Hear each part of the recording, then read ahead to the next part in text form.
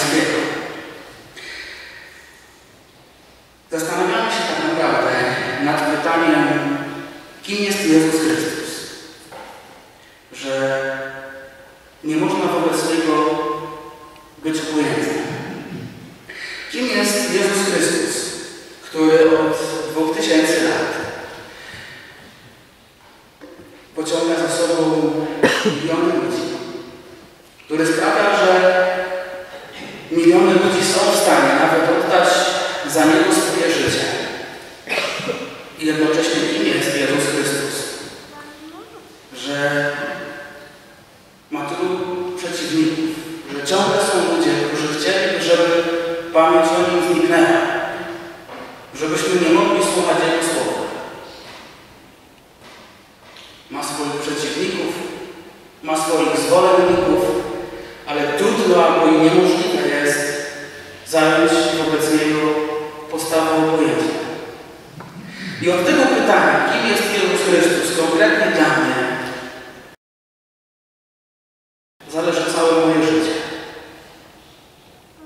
Kluczowa sprawa w moim życiu to jest to, jaką ja zajmę postawę. Kim Jezus Chrystus jest dla mnie.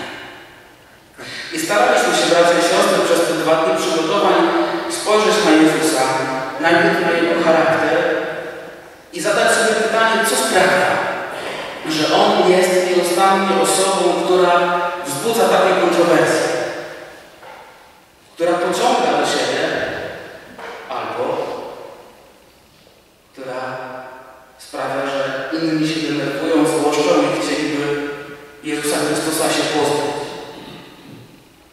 I powiedzieliśmy sobie, że sposób wielu cech Jego charakteru, jedną z takich najbardziej pięknych jest to, że Jezus Chrystus jest pogodny, że przyciąga do siebie. Mówiliśmy, że Jezus Chrystus jest tą postacią, która przyciągała dzieci, nawet dorośli zabraniali tym dzieciom przychodzić do Jezusa.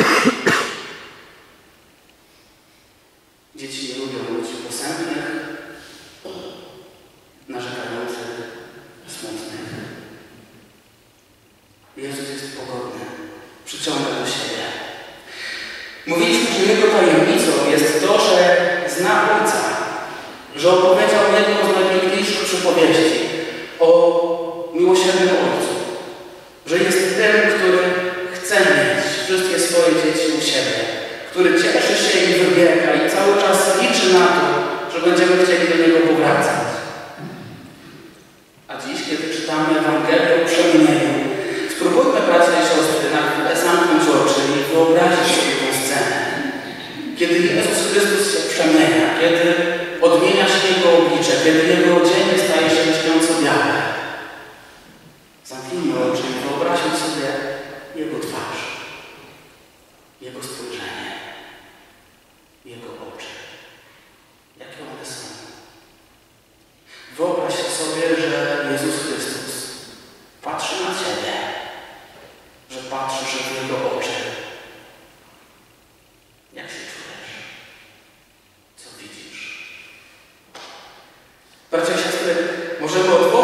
social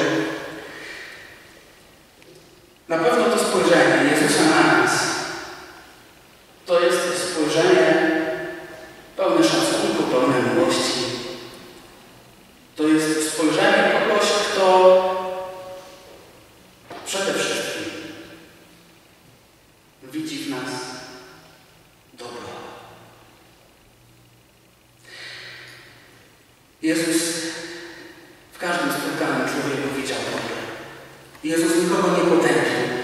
Kiedy przyprowadzono do Niego kobietę przyłapaną na cudzołóstwie, powiedział, ja Ciebie nie potępiam, ale idź od tej chwili już nie grzesz.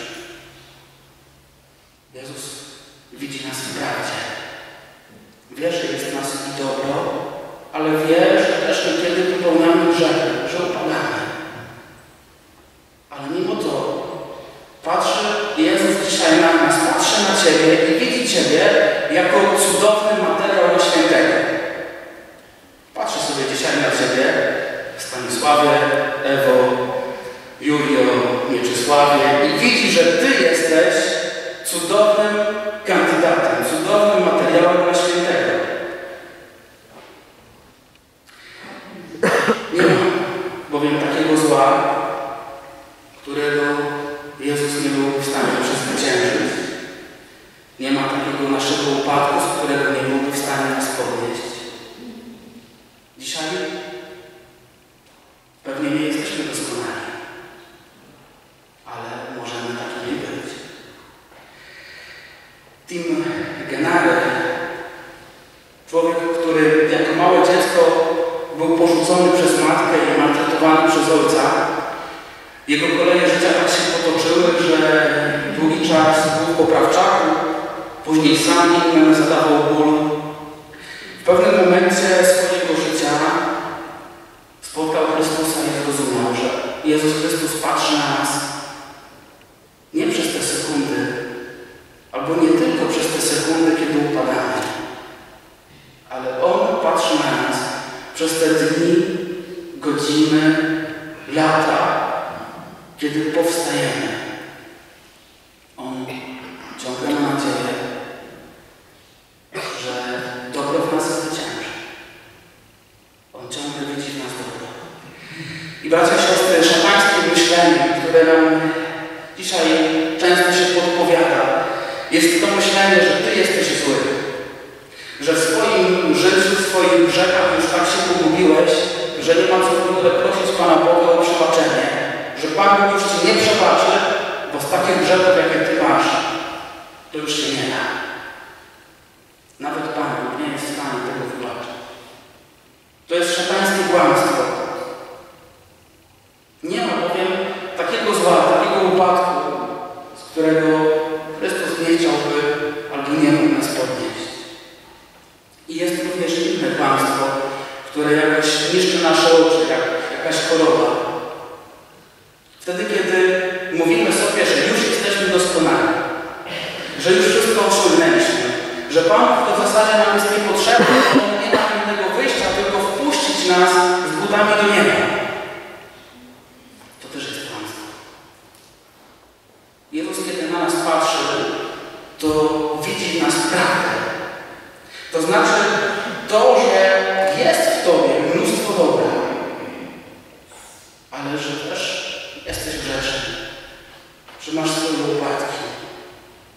Dlatego przestań udawać, że jesteś nieumylny, że wszystko w życiu Ci wychodzi i że sam sobie poradzisz. Bez Jezusa sobie nie poradzimy. Stańmy dzisiaj w. Tak, żebyśmy znali swoje zalety, swoje dobre strony i swoje wady. Tak, żebyśmy wiedzieli, kim jesteśmy naprawdę. Co mamy pielęgnować, a co trzeba jeszcze zmieniać. I prośmy dzisiaj Jezusa, który się przemienia, który pokazuje swoje bóstwo, żeby i nam dodał odwagi do przemiany naszych serc. Żebyśmy pielęgnowali nas dobro. I mieli odwagę, mieli siłę do tego, żeby pozbywać się z naszego życia to, co jeszcze w nas jest słabe albo grzeszne.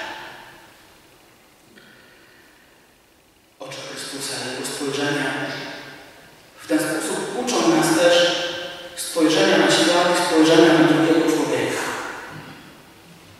Jak patrzymy na drugiego człowieka? Czy widzisz tylko tych gorszych od Ciebie? Czy raczej należysz do tych, którzy mówią, że na tym świecie nie ma? Że w Kościele wszystko jest grzechem i wszystko jest źle? Że w to już nic dobrego się nie dzieje? Spójrzmy dzisiaj na świat oczyma Syna Bożego. Zatrzymaj się. Spójrz na otaczających Cię ludzi. Zobacz, że dla każdego z nich Jezus oddał swoje życie na krzyżu. To znaczy w każdym z nas zobaczył dobro. Stwierdził, że jesteśmy warci Jego krwi. I uczmy się tego spojrzenia. Zamiast być tym, który narzeka, przygnębia drugiego człowieka, bądźmy tymi, którzy potrafią obudzić dobro. Kiedy ostatnio powiedziałeś komplement swojej żonie? Kiedy ostatnio powiedziałaś, że twój mąż zrobił coś genialnie, najlepiej na świecie?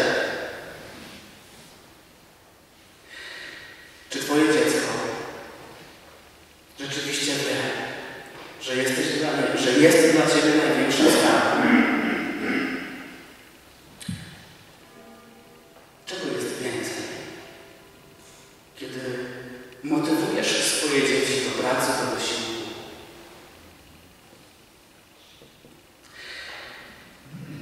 Oczy Jezusa to są też oczy, które zauważają.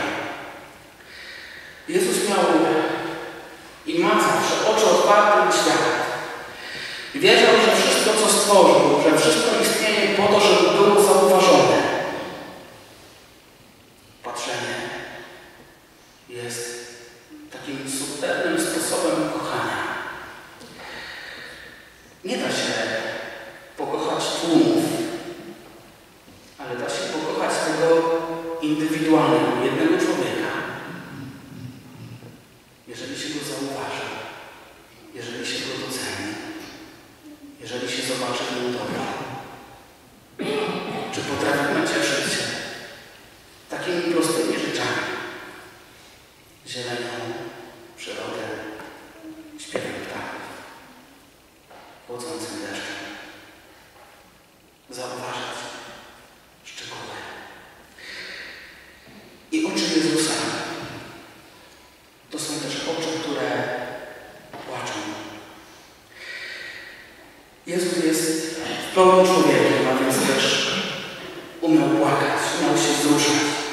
Chociażby na wieść o śmierci swojego przyjaciela Łazarza. Płakał nad wypadkiem Jerozolimy. Ten, kto płacze, jest tym, który pokazuje, że umie zejść ze swojego stanowiska, z piedestału, że potrafi być łagodny, być bliski, że rozumie. Łzy tak naprawdę pozwalają poznać dobro drugiego człowieka. Możesz przecież zapomnieć tego człowieka, z którym się śmiałeś, ale człowieka, z którym płakałeś, nie zapomnisz.